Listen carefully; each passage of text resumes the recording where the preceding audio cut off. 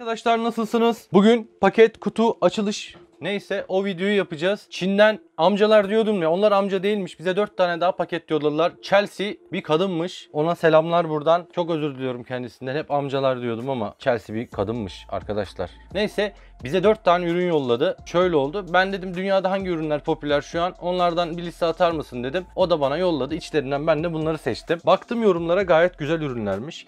İlk ürünümüzden başlayalım. Bu bir projeksiyon cihazı. Evi sinemaya çeviriyor. Televizyonu falan yansıtıyorsunuz. Telefonu yansıtıyorsunuz. İçinden kitapçıklar, ıvır zıvır, cart bir şeyler çıktı zaten. Çok teknik detaya girmeyeceğim bu videoda. Daha çok görsel üstünden. Normal şekilde anlatacağım. Yok lumenmiş, wattmış, voltajmış, saatmiş, cartmış, çurtmuş girmeyeceğim. İşte kullanım kılavuzu nasıl bağlanacağı yazıyor. Bir adaptör var. Adaptörün ucuna takıyorsunuz. Fişi de prize takıyorsunuz.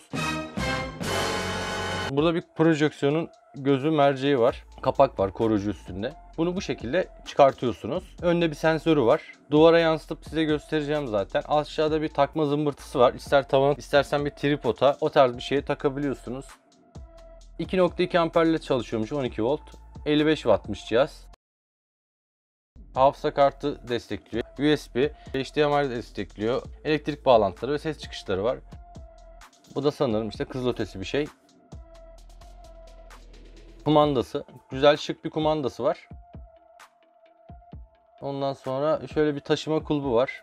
Ve üstte de bir tuş, bir takım tuşları var. Açma, kapama geri tuşları. Bir de böyle bir paket çıkıyor içinden. Paket çok güzel olmuş.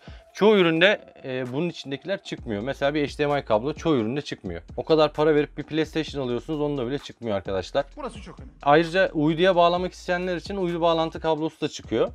Ve Türkiye uyumlu bir adaptör çıkıyor. Ivır zıvır o çayın çin işlerle uğraşmıyorsunuz. Hani bizim Türkiye'ye uyumlu bir adaptör çıkıyor. Bu da çok güzel. Bu Blitz marka yanlış telaffuz ettiysem affola. Bu da aslında Xiaomi kadar kaliteli. Xiaomi'nin bir alt segmenti gibi düşünebiliriz. Bu aletin de fiyatı o yüzden uygun muadillerine göre. Bu aletten 10 bin liraya kadar olan fiyatları var. Bu zımbırtı da mercek ayarını yapıyor. Siz yakınlaştırıyorsunuz, uzaklaştırıyorsunuz. Oradan netlik ayarını yapıyorsunuz. 5 watt surround ses sistemi var. İsterseniz bunu Bluetooth speaker olarak da kullanabiliyorsunuz. Öyle güzel bir yanı da var. İlerleyen bölümlerde zaten duvara yansıtıp göstereceğim size. İkinci bir ürünümüz Mi TV Stick. Bunlar şu an çok popüler. Tüm dünyada popüler. Neden popüler? Akıllı televizyon alıyorsunuz. internete girmek istiyorsunuz. O kumandayla oynarken falan çok yavaş oluyor zaten arayüzleri. Bu o sizi dertten kurtarıyor. 4 çekirdekli bir alet bu. Ufak bir bilgisayar diyebiliriz. İçinde Android işletim sistemi var. Yine tekniğe girdim biraz ama girmeyeceğim dedim. Böyle bir takım kitapçıkları çıkıyor. En güzel tarafı bu alet Türkçe. Fiyatı da Banggood'da gayet uygun ve içindeki menüleri gösteriyor. Yani içinde yüklü olan ya da yüklenebilir şeyleri gösteriyor. Netflix, YouTube, işte Twitch gibi şeyler var. Küçük kibar bir kumandası var. Bu da HDMI girişi. HDMI'den direkt alete takabiliyorsunuz televizyona ya da bu alete yani projeksiyon cihazına takılabiliyor. Bunu Türkiye uyumlu bir adaptör çıkıyor içinden. Ama adaptörü kullanmamıza gerek yok. Çünkü şöyle bu alette USB'li bir alete takıyorsun. HDMI olan bir alette USB elbette vardır. USB kablosuyla elektriği o USB girişinden alabiliyor. O yüzden adaptörü ekstra takmanıza gerek yok. Ben denedim bunu. Hiçbir güç kaybı yok. Bunu seversiniz bak. Gayet güzel. Piyona bilek bir şey var. Kaplama bir zımbırtı var. Böyle can can mı? Ya böyle kımıl kımıl işte ya. Al can can işte kafa karıştırma. Elektrik vermek için bu zımbırtıyı da micro USB takıyoruz. İsterseniz adaptörü dediğim gibi takabilirsiniz ama ben ihtiyaç duymadım test ederken. Yani olur. Mi TV Stick dediğim gibi Türkçe tamamen. O yüzden kullanımı da çok kolay ve en güzel tarafı akıllı televizyonda uğraşıyorsunuz, ekran yansıtıyorsunuz, telefondan randıman alamıyorsunuz. Bunu direkt HDMI'ye takıyorsunuz. Televizyonunuz oluyor kocaman bir bilgisayar. Android'in tüm uygulamalarında destekliyor ayrıca. E, Netflix falan filan saymıyorum zaten. Ha, bu arada onu söylemeyi ben size unuttum. Bu cihazların hepsini size hediye edeceğim. Bugün tanıttığım cihazların hepsini bir tanesi hariç. Onu kendim için aldım. Teknik serviste bana lazım. Ama isteyen olursa bir dahaki siparişte ondan da alırım. Böyle arkadaşlar hediyeyle ilgili konuyu da videonun ilerleyen kısımlarında bahsedeceğim. Bu da Mi Stick. Bunu da istedim. Neden istedim? Bunu WhatsApp'tan ve sosyal medyadan bana çok yazdınız. Abi Plus'ını aldın ikinci versiyonunu. İlk versiyonunu sen sevmiyorsun ama biz seviyoruz. Lütfen al dediniz. Ben de aldım. Bunun fiyatı uygun. %115 lira arasında bir fiyatı var. Bu arada Banggood'da bugün itibariyle bir indirim kampanyası başlıyor. Ve aşağıya ben indirim kodlarını da koyuyorum. O yüzden linklerimizden tıklayıp giderseniz kesinlikle avantajlı olacaksınız. Bu tornavida ben diğer videolarımda pek sevmediğimden, torkunun düşük olduğundan bahsetmiştim ikinci versiyonuna göre. Ama yine güzel. Ben yıllarca kullandım bunu. İkinci versiyona göre düşük ama ikinci versiyonu bundan aşağı yukarı bir 120-130 lira daha pahalı. Onda ekstra uç geliyor, bir stand geliyor. Bir de o şarjlı. Bu pilli. Ne kaybı var? Ya pilleri öyle ayda bir kere falan ya da iki ayda bir kere değiştirirsiniz. Çok kullansanız bile çok hani enerji tüketmiyorlar. Ve işinize yarayabilecek tüm uçlar var üstünde. Yani bu tüpün içinde. Bir tane de kılıfı geliyor işte.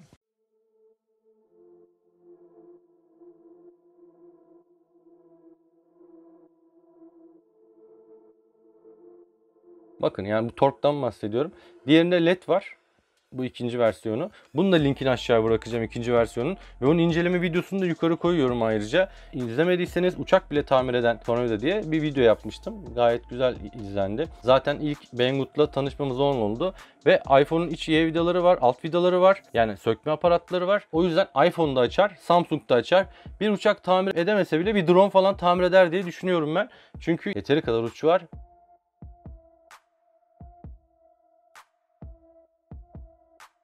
Mesela şu Y06 bu iPhone'un iç vidası. iPhone'u sökebilir.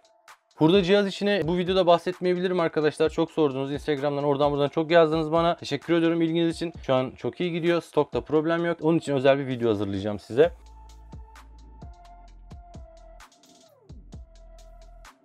Bakın iPhone'un üst tarafındaki plakayı gayet başarılı bir şekilde açıyor. Gayet güzel. Bir sıkıntı yok arkadaşlar bunda da.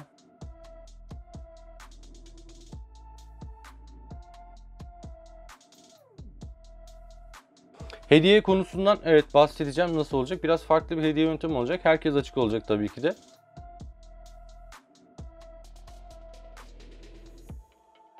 Bu da güzel kadife Xiaomi modellerinden, cihazlarından alıştığımız kadife çanta. Bu çantaları ben çok seviyorum. Hediye gönderirsem belki bu çantayı yollamam. Şaka şaka yollarım. Gayet güzel, kompakt, kibar bir yapısı var. Her yere taşı götür. Bununla her şeyini halledersin arkadaşım. Yani başka tornavida seti almana gerek yok bence. Yani ben de öyle diyordum kendim ama çok aldım. Ben de hala alıyorum tornavida seti. Hastalık oluyor belli bir zamandan sonra. Hobin oluyor. Yani kadınlar nasıl ayakkabı, giyim, kıyafet alıyor. Sen de tamircisine başlayınca habire alet alıyorsun.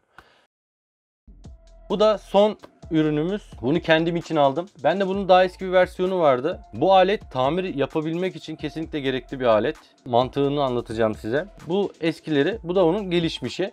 300 taneye kadar Android cihazı elektrik verebiliyor. Şöyle cihaz aldınız hurda diyelim. Bataryası da yok. Onun için bir batarya mı alacaksınız? Hayır. Neden? Batarya ekstra bir maliyet iade edemezsiniz falan filan. Bu uçlarla direkt anakarta bağlantı yapıyorsunuz ve bunu power supply'inize takıyorsunuz. Power supply'imi şu an göremiyorsunuz siz. Olmadı onu da linkini aşağıya bırakırım. Herhangi bir power supply'in böyle RTX girişleri vardır. Ona takarsınız. Bunu da cihaza bağlarsınız. Bu cihazın güç çekip çekmediği ile ilgili ekran görüntüsünü de şimdi paylaşacağım zaten.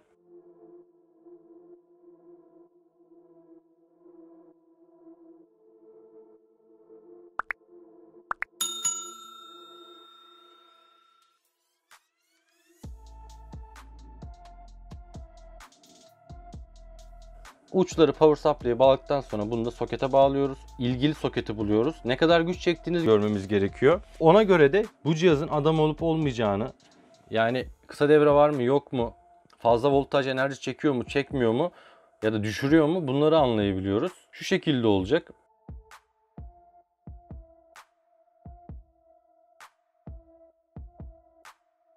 Startladı.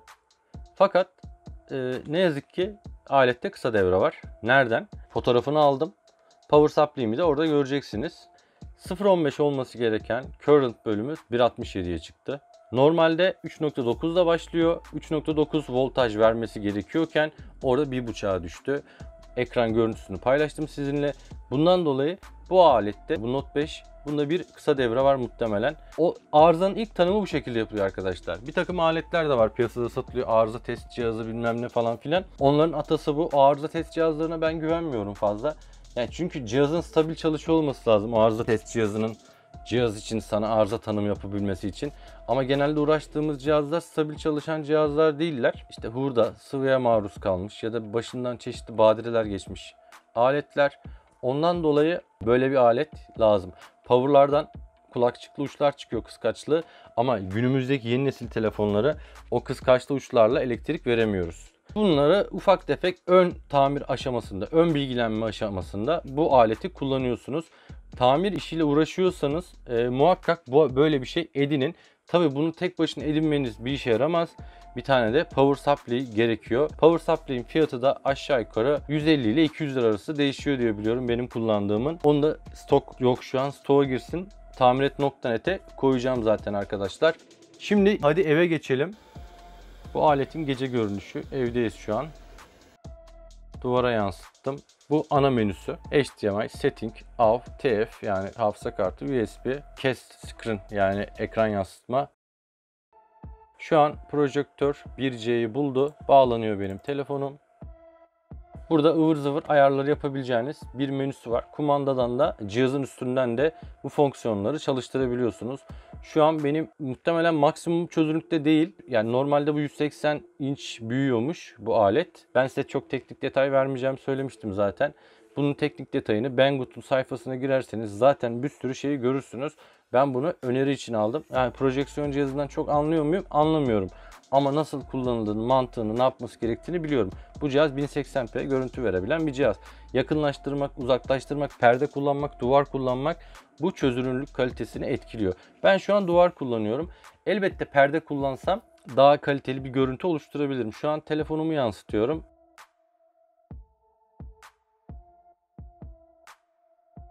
Tamiret sayfasına girdik YouTube'da. Telefondan yansıtması pek randımanlı gelmedi bana. Sebebi de şu. Görüntüde bir problem yok fakat seste bir problem var. Onun da sebebi benim evimdeki internetin probleminden kaynaklandığını düşünüyorum. Halbuki evde 35 megabit süper online fiber kullanıyorum.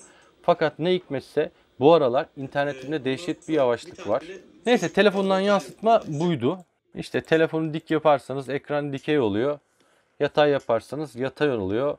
30 bin saat bu aletin çalıştığı söyleniyor. Yani 30 bin saat size görüntü aktarabiliyormuş. Sonrasında ufak tefek ben yine size biraz bahsedeyim. 5 lumen ışığı varmış işte. 2000'e 1 bölü kontrast oranına sahipmiş. 5 volt speaker varmış. Wireless phone sticker mirroring e, yani ekran yansıtma wireless üstünden. USB'ler, HDMI'lar, cartlar, curtlar 1080p 1280 çarpı ve 1080p destekliyormuş. İşte web sitesinden okuyorum bunları zaten. Gayet güzel. İşte diğer projeksiyon cihazlarıyla karşılaştırmışlar. Fiyat performans olayı yani bu cihaz 5-600 lira civarıydı. En son aşağıda linke bakarsanız belki daha da indirime girmiştir. Bunun muadilleri farklı markalarda 2500 lira civarı geçiyor. Bu tür taşınabilir işte speakerlı, surroundlu, HDMI girişli, cartlı, curtlu olanları. Ama bu fiyatı uygun. Şu an ben diğer cihazı taktım. Yani Xiaomi Stick'i taktım. TV Stick'i. Onunla şimdi bir yayın aktarımı yapacağız. Ayrıca bu Mi Stick'te aldığınız zaman evde internetiniz de varsa herhangi bir uydu cihazınıza ihtiyacınız yok. Tüm kanalların artık Android uygulamaları var ya da tarayıcılarından canlı yayınları var. O uygulamalara girerek yani evinizde bir nevi TV bu, Dijitürk var gibi düşünün. Kanalları izleyebiliyorsunuz. Ayrıca bu aletle sadece film, dizi, televizyon izlenmiyor. E, oyun da oynayabiliyorsunuz. Bilgisayara bağlanıyor. Onu da göstereceğim şimdi size. Hediye kısmında anlatacağım az sonra. Bu arada ben Wi-Fi şifremi bağladım. Çünkü bu TV Stick bağladık Xiaomi'nin. Wi-Fi girmem gerekiyor. İnternet üstünden bağlanıyor. E, Daha önce ben bunu bu paket açılımı yapmadan önce bir denedim. Çok hızlı gerçekten. Yani benim televizyonum Panasonic. O da akıllı televizyon hesapta. iyi bir model bir de. Ama inanın bu kadar geniş yelpaze uygulamaya sahip değil. Artı çok böyle insanı nefret ettiriyor. Yani girme diyorum girme. YouTube aç. Sesli komut sistemi var. Kumandanın üstünde bir tane tuş var. O tuşa bastığınız zaman sizi dinlemek istediğini söylüyor. Ne yapmak istediğini söylüyorsunuz. Ben dedim işte az önce duydunuz belki. YouTube aç. YouTube açıyor. YouTube'da tamir et kanalını aç diyorum. Onu açıyor falan filan. Bakalım bir YouTube'u açalım. Kanalımızı bulalım.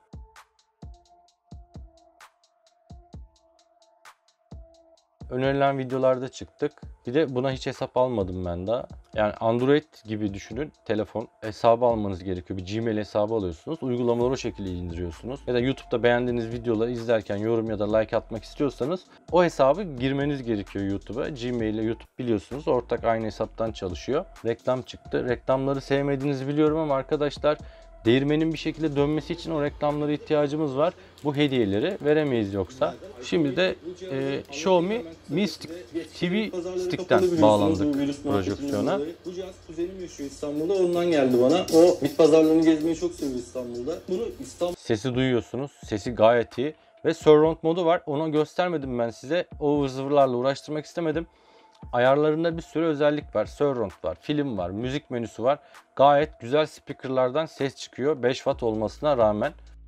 Doyuruyor. Sinema havası katıyor evin içine. Ekstra bir ses sistemi kullanmanıza gerek yok. Ben ihtiyaç duymadım. Hatta Avengers denk geldi. ATV'de bir yerde oluyordu. Televizyona bağlamıştım projeksiyonu direkt. Oradan o filmi babamla birlikte izledik. Gayet de sinemadaymış gibi bir izlenim verdi bize. O hissi ya- yaşattı. Sonra başka söylemek istediğim şey ne var? Bu tornavidayı aldığınız zaman tüm cep telefonlarını tamir edebiliyorsunuz. Esas bombaya geçelim. Uçak tamir edebilen tornavida. Sınavına gittim. Bu Toolbox, Toolbox, Toolbox ne dedim ben ya? Ne diyecektim ama unuttum ya. Are you listening? Damn. Görüntü kalitesi güzel, ışık güzel. Yani ses de güzel. Sesi duyuyorsunuz Ve şu an. bugün çok sorduğunuz tamir ekipmanlarını tanıtmak istiyorum size. Hep benden ürün ince Sayın biraz bozmuyor. Yani güzel. Aletler iyi. Tarafsız olarak yaklaşıyorum. Yani bu paralara alınabilecek. Özellikle yani bu projeksiyonlu mistik süper. Tornado da güzel ama şimdi bizim konumuz biraz daha kaydı tamirden. Bu videoda tamam tamir için iki ekipman aldık fakat biraz eğlence işine geçtik. Tabii hepimiz evdeyiz ve bu pandemiden dolayı sokağa pek çıkmak istemiyoruz. Evde vakit geçirdiğimiz sürede de insanın canı sıkılıyor. Bu tür oyuncaklarla oynamak istiyor açıkçası. Ben de onu düşünerek aldım bunları. Ama kendime almıştım. Sonra diğer videomda demiştim ki sizin için de oyuncaklar alacağım oradan. O yüzden bunları size hediye etmek kararını aldık. İşte Netflix var. İçinde bunlar yüklü gelmiş. Prime Video yüklü gelmiş. Netflix'e bağlanıyorsunuz direkt. Tabii Netflix hesabınızı girmeniz gerekiyor. Ben hesabımı falan girip telifle falan uğraşmak istemediğim için sadece Netflix'i açarak bırakıyorum burayı. Cihazlarda işte Gmail hesabınızı girdikten sonra Google Play Market'teki işte ürünleri, cartları, curtları bir şeyleri indirebiliyorsunuz. Oyunları, ıvırları, zıvırları. Ayrıca bu Xiaomi Mi Stick TV'ye mouse ve klavye bağlanabiliyor Bluetooth'la. İşte onunla da oyunları oynayabilirsiniz. Oyun denemesi yapmadım. Ee, ya bir PUBG falan yüklemek için isterdim ama ona fırsatım olmadı. Ama az sonra projeksiyonu deneyeceğiz oyunda. Oyun deneyimini ufak da olsa size göstereceğim. Bu alet böyleydi arkadaşlar. Şimdi projeksiyonu bilgisayara bağladım. Buraları buğulamak zorunda kalabilirim. Kişisel özel şeylerim var. Bir tane oyun açacağız. Oyun deneyimini merak ediyorum ben projeksiyonlarda. Çok eskiden beri oyun oynuyorum. Ta ki Atari ve Commodore 64'ten geliyor benim oyun sevdam. Hep oyun kanalı açmak da istemişimdir ama hiçbir zaman fırsatım olmamıştır işten güçten. İlk zamanlar kanalı kurduğumuz zaman PlayStation'da ufak tefek böyle canlı yayınlar yapıyordum. Şu an ona da vaktim olmuyor. Biraz daha düzene girdiği zaman işlerimiz işte bir personel arttırımıyla gibi şeylerle muhtemelen yine canlı yayın oyunlarına en kısa sürede döneceğim ve bunu gerçekten de istiyorum. YouTube üstünden yaparız muhtemelen. Beraber oynarız, bir şeyler yaparız.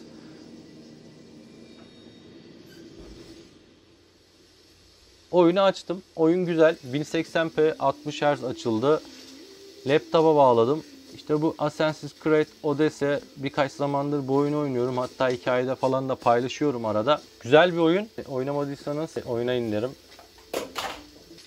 Oyun böyle. Birkaç suikast yapalım şurada. Adamın tepesine düşelim bir bakalım. Çökelim. Allah 10 numara 5 yıldız. Seviyorum bu oyunu. Özellikle deniz sahneleri süper. Ve su altı canlılığı da çok güzel oyunda. Oyunda reklamını yaptık ha bedavaya. Bu kadar. Kendinize iyi bakın. Hoşçakalın. Bay bay.